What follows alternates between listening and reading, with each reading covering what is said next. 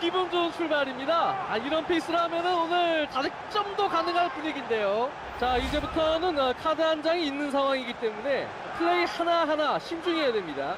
멋진 발리골입니다. 아, 대단하네요. 발리 골은 역시 타이밍, 또 유연성, 이런 것들이 다 복합적